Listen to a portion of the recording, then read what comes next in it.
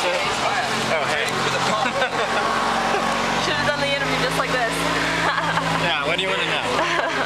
hmm. What's your favorite fruit? Go. I, favorite inflatable? Go.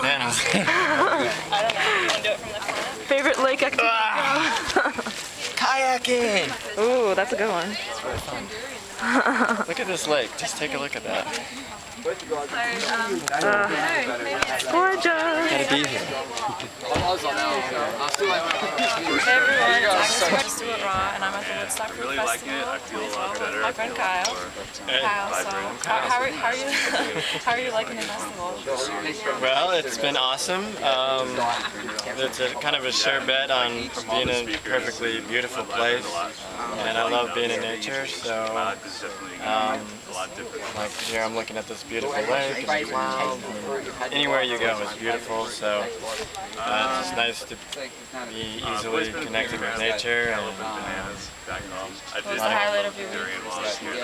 um, I think there was a lot of highlights, just a lot of good times with uh, friends, new friends and old friends. And, uh, it's just like a continuous joy fest, you know, Oh, because people are, everyone feels good, so it's easy to love life, you know, when you feel good.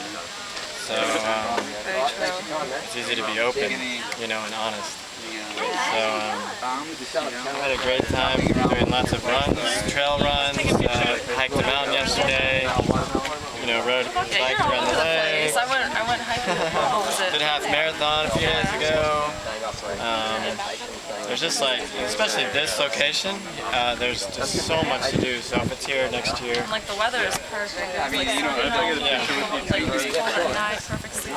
it's been awesome. One is uh, Um, You leaving now? Or what? yeah. give me more. Uh, Well, thanks for watching, guys. Remember, just do it raw. See you later. Yeah, You guy's getting the pump on. when your blood is rushing in your biceps, you know. I've seen pumping iron, right?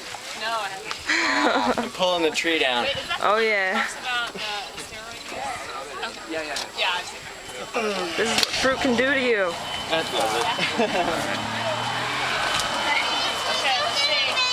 Yeah? Yeah. Okay. yeah.